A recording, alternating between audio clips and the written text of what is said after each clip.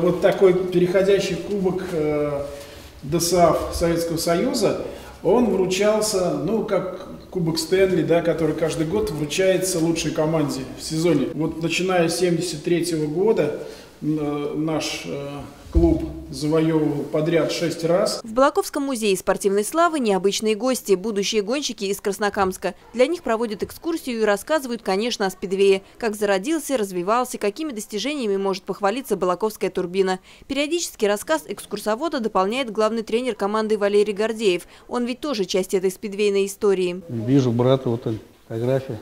Чемпионат Европы, он вторым здесь. Команда наша вот здесь. Приятно смотреть. Ну, когда уже с братом пришли заниматься, уже в детстве мечтали, что куда-то поедем, будем там выступать с сильными гонщиками. Цель-то такая была. Ну и хорошо, что все получилось. И встречались, и выезжали, и ездили и с австралийцами, и с англичанами, и с американцами, и со всеми европейцами много лет. Юниоры из Краснокамска приехали в Балаково для того, чтобы потренироваться у наставника турбины. Ведь в их небольшом городке хоть и много желающих заниматься спидвеем, но сам вид спорта не слишком развит. Сначала у нас стадион был на, на свинокомплексе, в поле сделали стадион и там гоняли, а потом уже, когда там все разрушалось, Иван Иванович, мой тренер Семиков, он построил это новый стадион. Э, следят за этим стадионом конкретно мы, вкладываемся тоже мы. Спонсоров практически там нету ничего такого. Просто выживаем, как можем, и все. Развития нет этого, потому, потому что, ну что, никто не поддерживает. Я вот их вожу только э, как бы в Салават, в Новосибирск, вот так вот, на, по первой лиге на соревнования. Тренер краснокамских мальчишек ищет любую возможность, чтобы его воспитанники могли получить опыт у именитых наставников.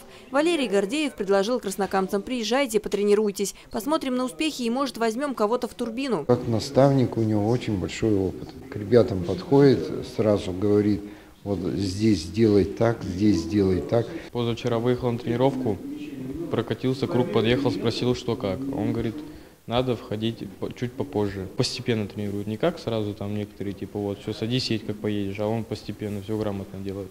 И вот команда на стадионе. Валерий Гордеев вместе с гостями готовит к заездам мотоциклы. Тренер турбины знает каждый винтик. Хоть он и не механик, но к его советам прислушиваются все. А вот на треке возникла проблема. В одном месте намок грунт, из-за чего образовалась яма. Валерий Дмитриевич сам взял лопату и принялся устранять дефект на дорожке.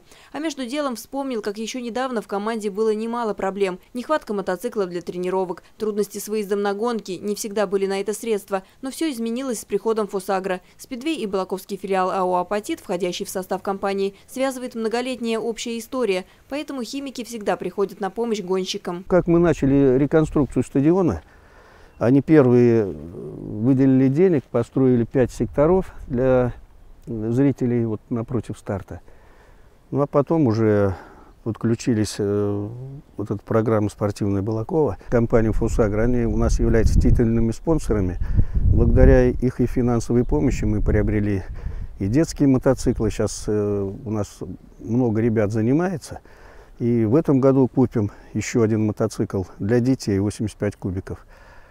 Вот. Ну и команду содержит практически Фосхагер. Для Валерия Гордеева спидвей – это вся жизнь. Знания и опыт он передает молодежи уже много лет, и его воспитанники не раз повторяли успех своего наставника. И не зря, наверное, ему предложено присвоить звание почетного гражданина Балакова, ведь именно благодаря его победам и достижениям его учеников наш город известен во всем мире.